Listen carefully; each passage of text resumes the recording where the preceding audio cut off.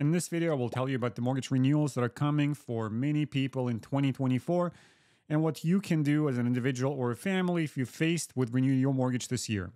If you're meeting for the first time, my name is Vlad. I'm a realtor with the Purple Tree Real Estate Group. And on this channel, we are absolutely dedicated to providing you with the most accurate and latest information on what's happening in the real estate market while helping you build your wealth at the same time, brick by brick, all the way from the blueprint and to the completed house.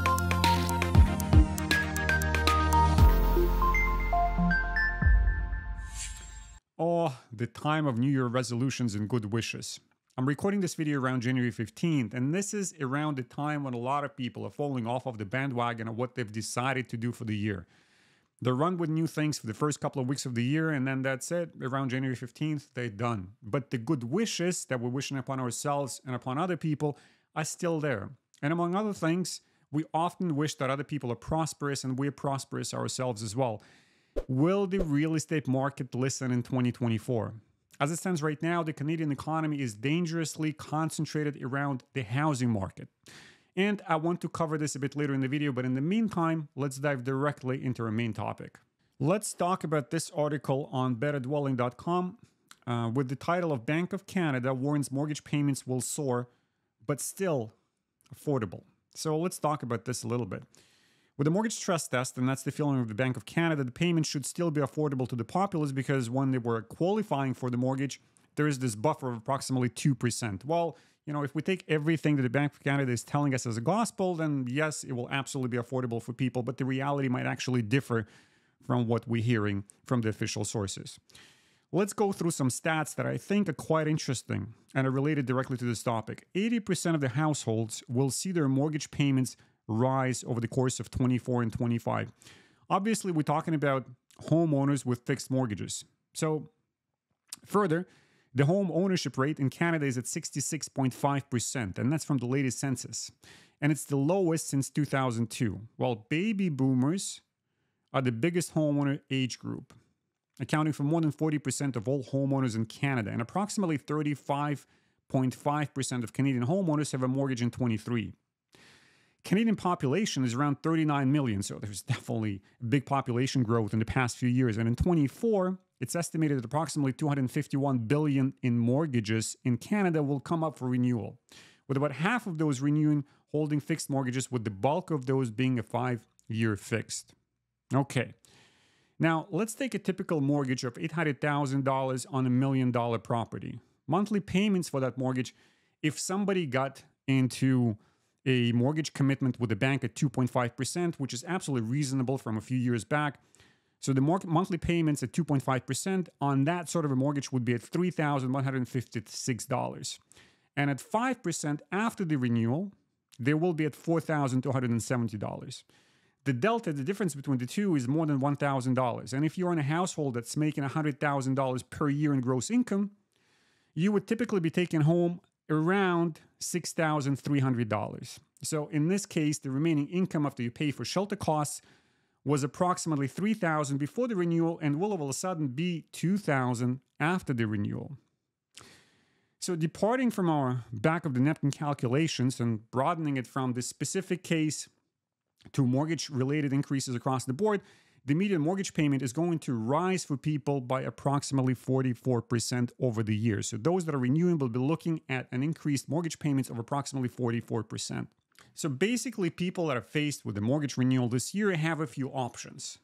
One of the options is to go and talk to your boss and see if they'd be amenable to increasing a salary by 44%. Let's see how that conversation is going to go. Another option, and this is a real one, you can rent out a part of your house to a tenant and thus supplement your monthly cash flow, your monthly income with the rental income from somebody living within the confines of your property. Another option would be to put your property up for sale. And, you know, lastly, the thing that comes to mind is to inherit a large sum of money from an aunt in Brazil.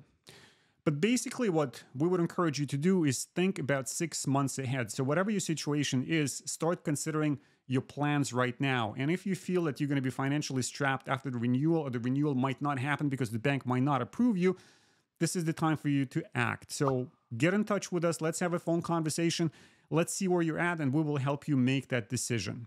Now, let's go back to the topic that I opened up with in the beginning of the video that the Canadian economy is being dangerously concentrated around the housing market. What's going on with that? All right, we're back at betterdwelling.com, and this time around, I'm looking at an article titled Canadian GDP supported by government spending still performing like a recession. StatCan is showing that residential investment actually gained in the third quarter of 23 despite slow real estate sales. And to my ears, it sounds like progress. It sounds like people are active, consumers are going out and buying real property, investors are transacting, and that whole sector of the market is growing. But residential investment is a direct contribution housing makes to GDP, and it should be growing at roughly the same pace as GDP. What we're seeing, though, is that it's outpacing it despite the economic woes. If residential investment becomes too large a part of the GDP, it becomes dangerous.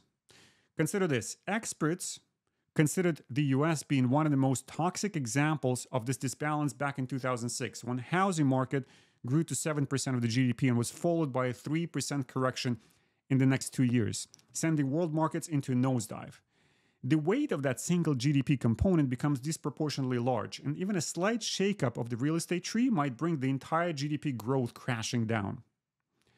In the third quarter of 23, Canadian residential investment rose to 7.8% of the GDP, and the Canadian GDP dependence on housing at this point is about 10% higher than the US bubble in 2006. This is exacerbated by incentivizing population growth through immigration and the consequence of all of this is that OECD, Organization for Economic Cooperation and Development, placed Canada dead last at number 40 for the GDP per capita growth in its projections that stretch up to 2030. But the problem is a lot more tangible when you look at it from the perspective of a younger generation. People that are just about to enter the workforce or will be entering the workforce in the next five to seven years they will have a lot fewer opportunities than their peers in other countries on that list. Places like Lithuania, New Zealand, Portugal, Italy, Greece. Did I mention that Canada came in at number 40, dead last? With all that said, I don't have a specific remedy for how to fix the situation. I'm just sharing the facts with you, and it appears to me that the younger generation is going to be a lot poorer in Canada than their parents. In conclusion, I want to leave you guys with something positive. So here's a great quote from Yogi Berra. A nickel ain't worth a dime anymore. Please like the video, subscribe, and comment, and Happy New Year.